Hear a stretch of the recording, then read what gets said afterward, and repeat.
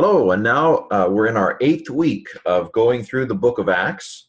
Uh, we're doing now, we're at a rate of about 10 verses uh, a week, although we're going to do 13 verses this week. I overview the verses on Sunday, and then on Monday through Friday, I go through the Greek of those verses.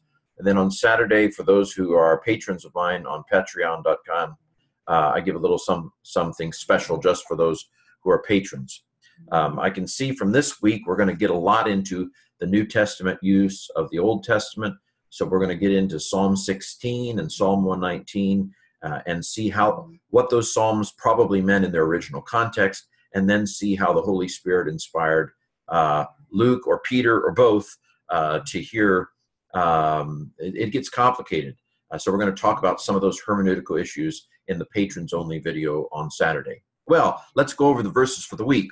So uh, Peter has just told the crowds uh, that they killed um, uh, somebody who was Jesus. They killed Jesus, somebody who had been attested by God um, as um, uh, somebody who through whom God did miracles and and uh, did wonders and signs uh, through the power of the Holy Spirit, and that this was that um, the day of Pentecost was a fulfillment, at least one fulfillment.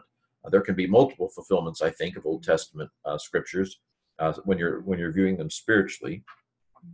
Uh, of Joel's prophecy uh, that the sun will be darkened, the moon turned to blood, and your sons and daughters will prophesy, and so forth. And so he's he's just finished saying in verse 23 that the people of Jerusalem had killed uh, Jesus, even though he was God's man. Um, and and here's the verse continues: whom God raised, having loosed the birth pains of death, since it was not possible for him to be held by it. Two interesting uh, things about this verse. First of all, there there is the sense that there is um, there is a power in Jesus that made it such that he could not be uh, contained by death. But uh, in keeping with the general practice of Luke and of the New Testament, God the Father is the one who is seen as the ancient, uh, the agent of uh, resurrection. So you know how we sing on Easter, He arose, He arose, Hallelujah, Christ arose. The New Testament never puts it that way. The way the New Testament puts it is God raised Jesus from the dead. Uh, very interesting. The agency of the Father, which which plays into something I've said in my commentary throughout the, this past week, and that is is that Acts seems to want us to see Jesus as playing it by the human rules um, to show us, and I would go further to say that to make Jesus into a model, that there's nothing that Jesus did while he was on earth that we cannot also do uh, through the power uh, of the Holy Spirit. Uh, that Jesus did not operate as, uh, he did not uh, uh, enact the fullness of his divinity when he was on earth. He limited his knowledge, he limited his powers, he played it by the human rules. Even though he theologically we believe he remained omniscient. Theologically we believe he remained omnipotent and yet somehow in a mysterious way he did not access his omniscience. He he did he had partial finite knowledge. Uh, he did not know everything that was going to happen um, uh, in terms of his conscious mind uh, when he was on earth as a human being. Well i'm getting a little astray. Interesting expression. Here having loosed the birth pains of death. Very interesting. Um, uh, uh, death could not hold him. Uh, he was born to life um, interesting metaphor there. I haven't quite got my head around it. Uh, for David says about him, and now we uh, uh, Peter slash Luke uh, quote uh, Psalm 16.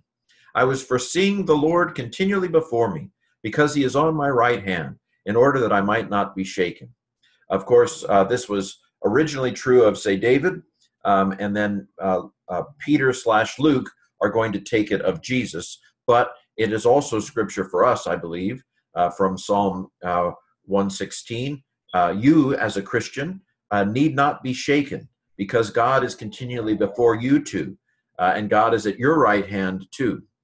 Um, the psalmist continues For this reason, my heart was glad and my tongue rejoiced, and still my flesh will dwell in hope. And again, uh, true for the psalmist slash David, um, true for Jesus, uh, and it can be true for you too. Uh, your heart can be glad no matter your circumstance. Because you will not abandon my life in Hades, nor will you give your Holy One to see corruption. Um, now, I believe in the original context, the psalmist slash David is saying, uh, You're going to rescue me from this situation. You're not going to let me be killed in this situation.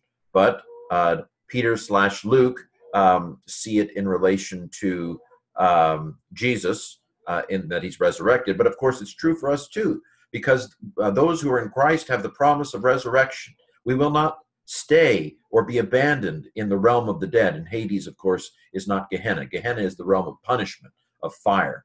Uh, Hades is, is, is a sense of the realm of the dead. It's a slightly metaphorical, I think. Um, God will not abandon us to corruption either. He will He will let us uh, be resurrected uh, one day as well. There's just multiple layers here, uh, and I, I, also think uh, that uh, Luke here is quoting the Septuagint, and so on Saturday, we'll get into this question of whether or not Peter would have preached in Greek, or whether this is a kind of a paraphrase by, uh, by Luke, uh, and so forth. It's complicated. Okay, um, you have made known to me the ways of life. You have filled me with gladness, uh, uh with your face, with your presence. So there you have again Psalm 16. Okay, now we have the third paragraph of Peter's speech. Men, brothers, being permitted to say with boldness to you concerning the patriarch David that he both died and was buried, and his tomb is among us to this day. Uh, and so now um, uh, Luke slash Peter um, uh, is going to use some good Jewish exegesis here uh, and basically say that um, uh, if we take this not seeing corruption uh, in terms of being held in the grave, then then it, it wouldn't apply to David uh, because David is still in the tomb.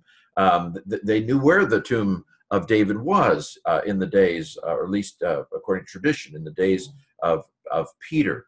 And so uh, if you take uh, the Psalm 16 that way of staying in death, it was not true at that time of David. Therefore, so Peter's going to read now Psalm 16 in a spiritual sensus plenior, in a fuller sense. Therefore, being a prophet and having known that God swore to him with an oath that someone from the fruit of his loins would sit on his throne, having seen ahead of time, he spoke concerning the resurrection of the Christ, that neither was he abandoned into Hades, nor did his flesh uh, see corruption. This Jesus God raised, of whom we are witnesses. Uh, so again, if you if you read uh, Psalm 16 in that way, uh, then Psalm 16 can be uh, seen spiritually uh, to refer to the resurrection of Christ. More on that on Saturday. Verse 32 again, God raised Jesus. God is the agent, and of course, the very nature of an apostle. In, in, in the New Testament, the overwhelming uh, meaning of an apostle is someone who has witnessed the risen Christ and who has been sent as a witness of that uh, resurrection. Of course, here specifically, the 12 are in mind.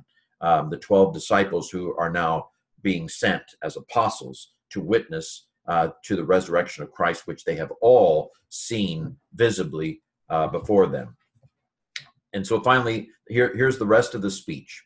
Therefore, having been exalted to the right hand of God, and having received the promise from the Father of the Holy Spirit, he poured out this that you are seeing and hearing. So again, you see that, um, um, of course, John has a, um, a, a similar theology um, that if if Jesus does not ascend to heaven, then the Holy Spirit uh, will not be sent back. And so Jesus needs to go to heaven. So we're playing tag here. Uh, God the Father sends Jesus, Jesus goes up, he tags the Holy Spirit, the Holy Spirit comes back. Uh, anyway, this is, of course, the fulfillment of the promise. Um, John baptized you with water, I will baptize you with Holy Spirit, and uh, this is fulfilled on the day of Pentecost. Uh, and so the ph- phenomenon that they're hearing, these men are not drunk, uh, but this is the fulfillment of Joel. Uh, this is because of the resurrection, and now the Holy Spirit uh, is in force on, on the earth. Verse 34 For David did not ascend to heaven, but he himself says, The Lord said to my Lord, Sit at my right hand until I should place uh, your enemies as a footstool for your, your feet. Um, and of course, Jesus uh, in Mark 12 also. Um, Psalm, this is Psalm 110.1. It is incredibly important uh, in the New Testament. It's scattered throughout the whole New Testament, both directly and indirectly. Um, I wonder if this was the verse, uh, more than any verse, uh, that helped the early church uh, begin to understand what had taken place uh, in the resurrection. Um, and so uh, David is the my in this interpretation. So my Lord uh, is the is Jesus, the Messiah, and the Lord is God the Father. So to paraphrase uh, how how Peter slash Luke is interpreting this verse, it's God the Father said to Jesus the Son, who is David's Lord, sit at my right hand.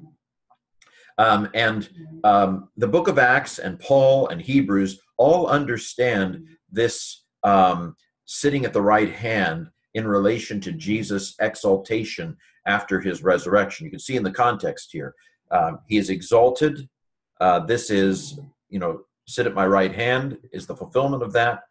And then uh, verse 36 Therefore, let all the house of Israel know assuredly that God has made him, this Jesus whom you crucified, both Lord and Christ. So, Jesus' exaltation to God's right hand uh, and his sitting there, which is called his session, um, is uh, conceptualized here, I think, and I didn't come up with this, as a kind of enthronement. He is being enthroned as the Messiah. Now, of course, you know, we, we call him Messiah while he's on earth, but in a sense, he doesn't assume the throne. He doesn't assume the office. He doesn't um, get installed. He is the heir apparent up to this point, but now he is enthroned. He is installed. He is Lord. He is Lord. He is risen from the dead and he is Lord. You see how that in the New Testament, uh, the, the lordship of Christ is most properly assumed after his resurrection and exaltation. See Psalm 2.